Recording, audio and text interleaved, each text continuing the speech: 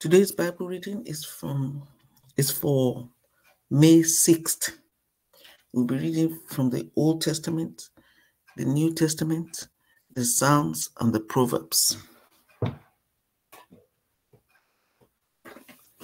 The Old Testament reading is from the book of Ruth, chapter 2 to chapter 4.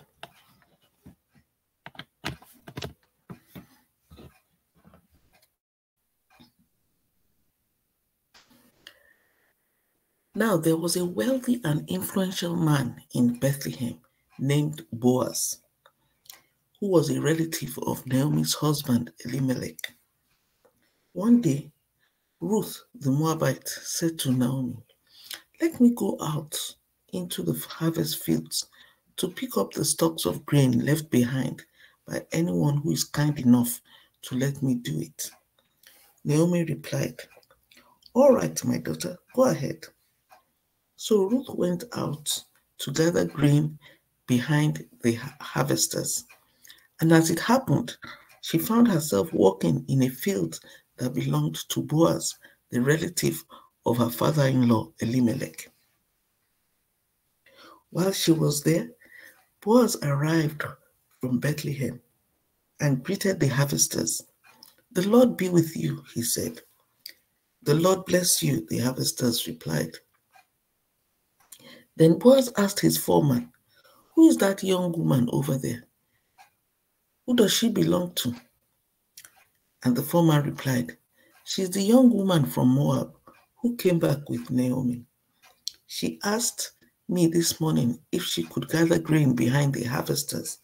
She has been hard at work ever since, except for a few minutes' rest in the shelter. Boaz went over and said to Ruth, Listen, my daughter, stay right here with us when you gather grain. Don't go to any other fields. Stay right behind the young women working in my field. See which part of the field they are harvesting and then follow them.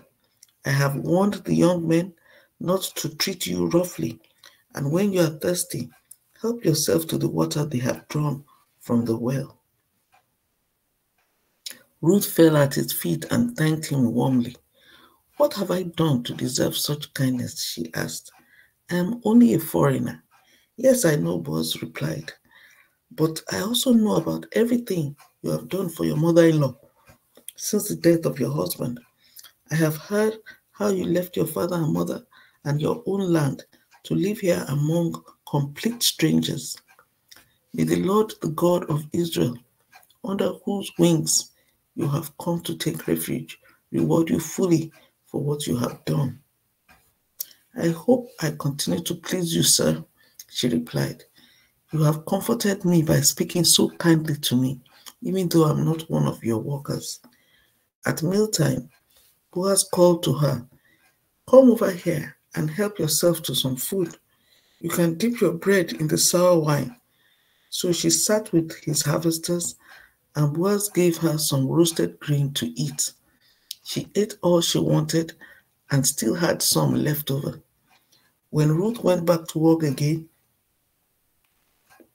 Boaz ordered his young men, let her gather grain right among the sheaves without stopping her, and pull out some heads of barley from the bundles and drop them on purpose for her. Let her pick them up and don't give her a hard time. So Ruth gathered barley there all day, and when she beat out the grain that evening, it filled an entire basket. She carried it back into town and showed it to her mother in law. Ruth also gave her the roasted grain that was left over from her meal. Where did you gather all this grain today? Naomi asked. Where did you walk? May the Lord bless the one who helped you. So Ruth told her mother in law about the man in whose field she had worked. She said, The man I worked with today is named Boaz. May the Lord bless him. Naomi told her daughter in law. He is showing his kindness to us as well as to your dead husband. That man is one of our closest relatives, one of our family redeemers.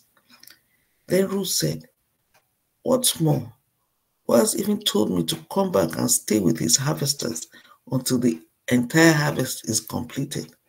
Good, Naomi exclaimed. Do as he said, my daughter. Stay with his young women right through the whole harvest. You might be harassed in other fields, but you'll be safe with him. So Ruth walked alongside the women in Boaz's field and gathered grain with them until the end of the barley harvest. Then she continued working with them through the wheat harvest in early summer, and all the while she lived with her mother in law. One day, Naomi said to Ruth, My daughter, it's time that I found a permanent home for you so that you will be provided for. Boaz is a close relative of ours.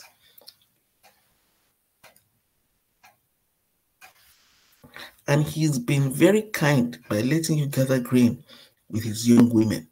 Tonight, he will be winnowing barley at the threshing floor. Now, do as I tell you. Take a bath and put on perfume and dress in your nicest clothes.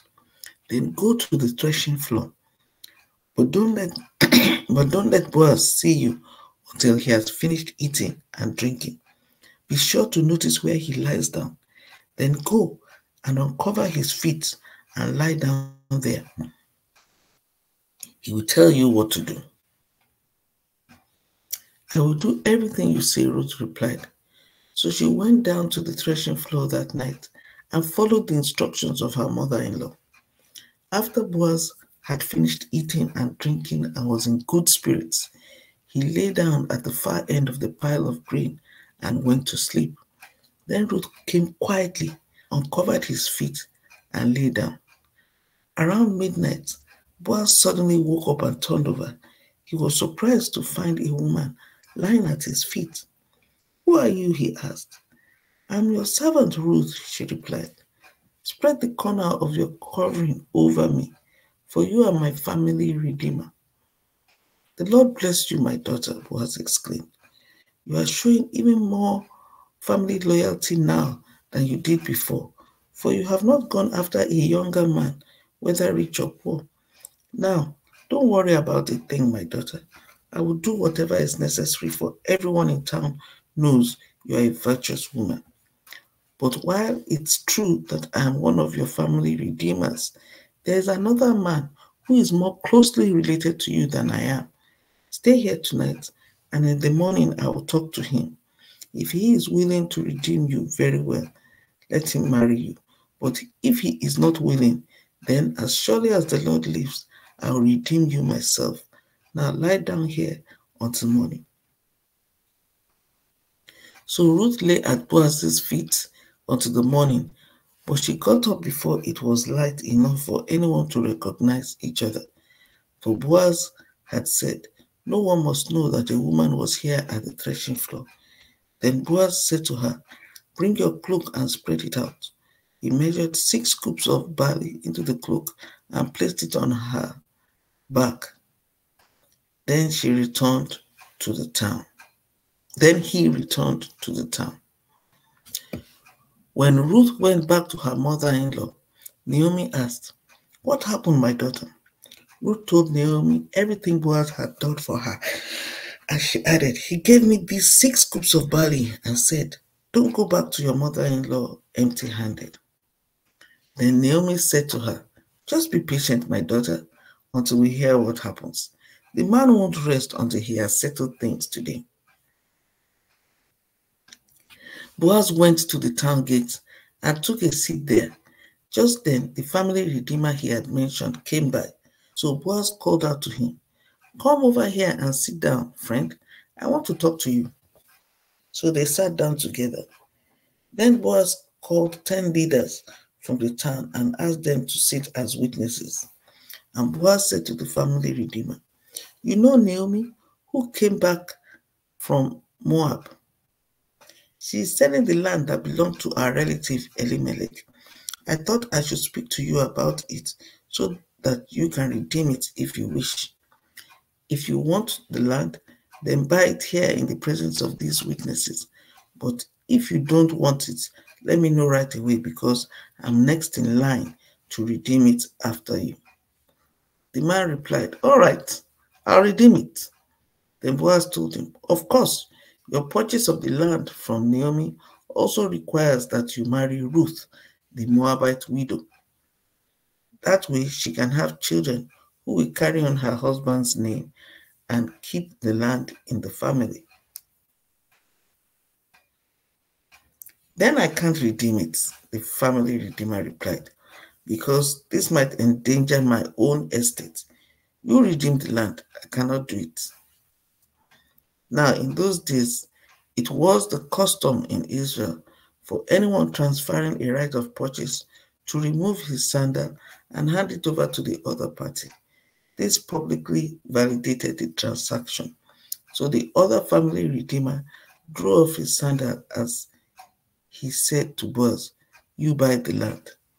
Then Boaz said to the elders and to the crowd standing around, You are witnesses that today I have bought from Naomi all the property of Elimelech, Kilion, and Mahlon.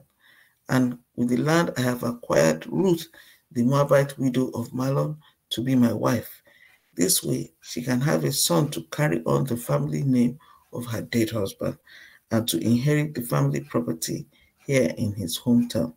You are all witnesses today. Then the elders and all the people standing in the gate replied, We are witnesses. May the Lord make this woman who is coming into your home like Rachel and Leah, from whom all the nation of Israel descended. May you prosper in Ephrathah and be famous in Bethlehem. And may the Lord give you descendants by this young woman who will be like those of our ancestors Perez, the son of Tamar and Judah, the descendants of Boaz. So Boaz took Ruth into his home and she became his wife. When he slept with her, the Lord enabled her to become pregnant and she gave birth to a son. Then the people of the town said to Naomi, Praise the Lord, who has now provided a redeemer for your family. May this child be famous in Israel. May he restore your youth and care for you in your old age.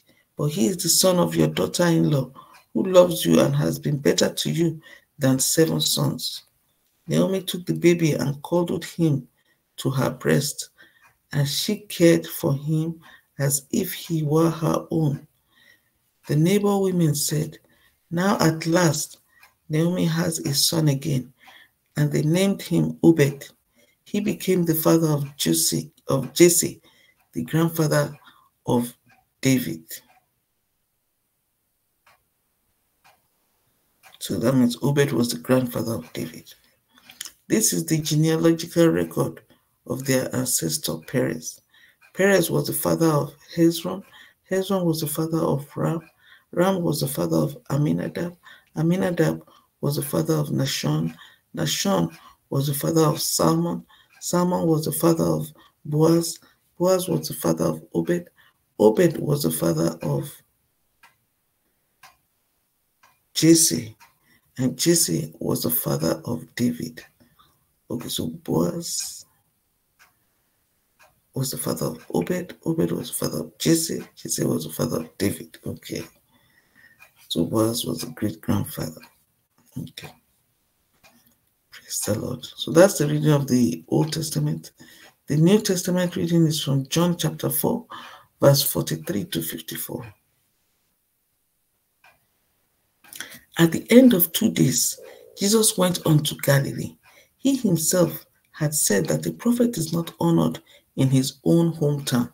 Yet the Galileans welcomed him, for they had been in Jerusalem at the Passover celebration and had seen everything he did there.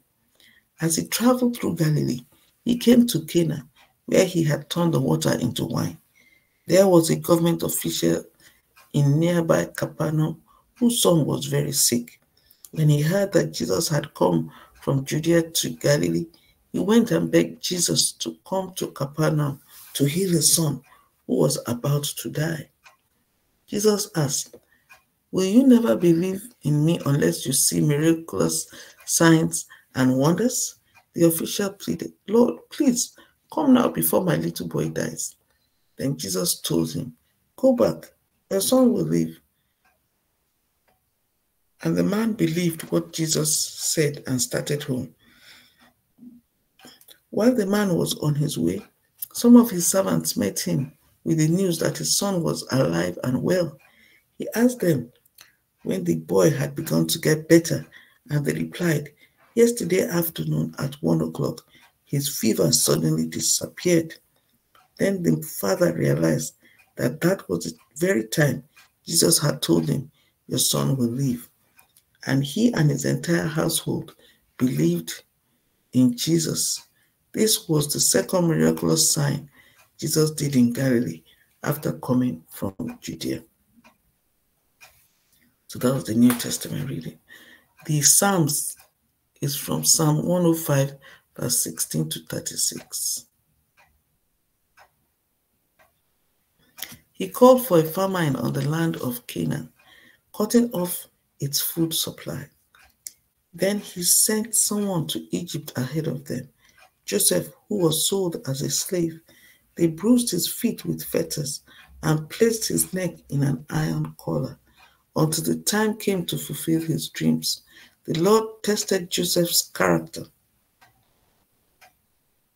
Then Pharaoh sent for him and set him free.